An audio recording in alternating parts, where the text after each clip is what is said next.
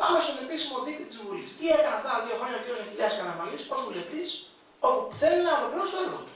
Δεν το πήρα προσωπικά, αλλά θα καταλάβετε την κατάρτιση του πολιτικού μας συστήματος. Δεν με νοιάζει καθόλου το πρόσωπο. Το λέω παράδειγμα, δεν είναι γνωστό. Εγώ, ας πούμε, έχω μιλήσει στον πρώτο δίκτυο που είναι ομιλίες 141 φορές. Μάλιστα. Στο δεύτερο δίκτυο που είναι οι ερωτήσεις έχω καταθέσει 1840. Μάλιστα. Στον τρίτο δίκτυο που είναι οι επιτροπές έχω παρευρεθεί σε 80.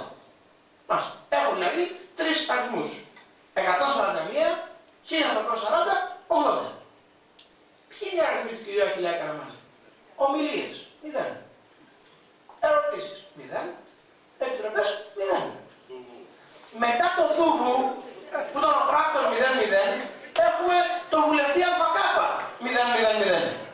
Και ενώ είναι 0-0-0, προσέξτε, θέλει να ολοκληρώσει το έργο του. Δηλαδή να βάλει άλλα τρία μηδενικά.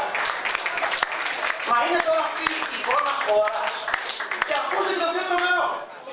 Για να εκλέγει το πιο Αχιλιάς Καμπία, καλά θα είναι μεγάλο κόμμα. Γιατί πολλοί λένε, μα γιατί δεν πάτε στη Νέα Δημοκρατία. Εδώ φύγαμε και πολυδροθήκαμε. Για να είναι ο κ. Αχιλιάς Καμπία υπουργό και βουλευτής της ΕΡΕΣ, δεν μπαίνει ποτέ στο ψηφοδέλτιο της Νέας Δημοκρατίας επώνυμο που να είναι πάνω από το ΚΑΠΑ. Γιατί όποιος είναι πρώτος έχει πάντα πλεονέκτημα. Πέντε πόντους θα πρώτο, μετά σου τελειώνει θα βρει, το εισπάνημα το σβήσει, τον κρατάει. Είναι, είναι ένα συν 20% το να είσαι πρώτος. Για να έχει πάντα αυτό το συν 20, εδώ και 50 χρόνια, στον νομό Σωρών Νέα Δημοκρατία δεν κατέβασε ποτέ κάποιον που να είναι πάνω από το ΚΑΠΑ. Δηλαδή πήγαινε να κατέβει στις αίρε, κάνει λόγο του Γεωργιάδης, σου λέει αν είσαι ο καλύτερος δεν πας να κατεβάσεις, γιατί είσαι Γεωργιάδης, πήγε το άλλο επώνυμο. Και ακούτε όμως τι έγινε αυτή η φορά, έχει πλάκα. Είχαμε υποσχεθεί σε μια κυρία. Πολύ γνωστή στην τοπική κοινωνία του Σαπούλου. Λεγόταν Δουβίτσα. Και γιατί δεν περίμενα να κατέβει ο Καραμαλής, πιστεύω ότι θα έχει φύγει. Και έτσι έκανε είχε βγει φωτογραφία τον Καραμαλή, είχαν ανακοινώσει να κατέβει υποψηφία, αλλά μετά ο, ο Αχιλέα δεν φεύγει. Και ο Καραμαλή, ο Κώστας που ευαγγελίζει την Ιρανέος, δεν είναι τόλμη του τι θα σε βγάλει. Όπως έκανε στον Τιτουρίδη. Γιατί εύκολα το στον Τιτουρίδη, αλλά όταν Αχιλέα Καραμαλή, προφανώς, οικογένεια. Ξέρετε τι έγινε. Αυτά λένε να τα γράφουμε κάπου σε βιβλίο, να τα λέμε για ανέκδοτα. Βάλαν τη γυναίκα και κατέφυγε με το επώνυμο του συζύγου της, που είναι, ξέρω εγώ, Σταματοπούλου, και έβαλε Σταματοπούλου δουβίτσα, για να μπορεί να μπει στο δέλτιο. Αλλιώ την κόμματα. Αυτή είναι η Ελλάδα. Θέλουμε να είμαστε Ελλάδα έτσι. Είναι δυνατόν να πάει η Ελλάδα μπροστά έτσι. Γι' αυτό δίνουμε μάχη. Και θέλω αυτή τη μάχη να σε έχουμε μαζί μας, να σε έχουμε παρόντες. Αυτή είναι η τελευταία εβδομάδα και θέλω να πω δύο πράγματα. Ένα, έχω φέρει πολύ από το προεκλογικό μου υλικό.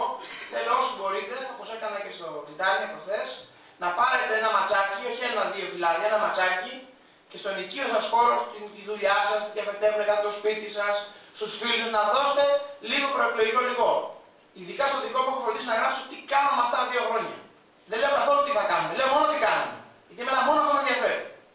Γιατί αν εγώ έρθω μετά από άλλο ένα χρόνο, δύο χρόνια, τέσσερα χρόνια και σκόξα να ψηφίσετε και είμαι 0-0-0, δεν πρέπει να με ξαναψηφίσετε.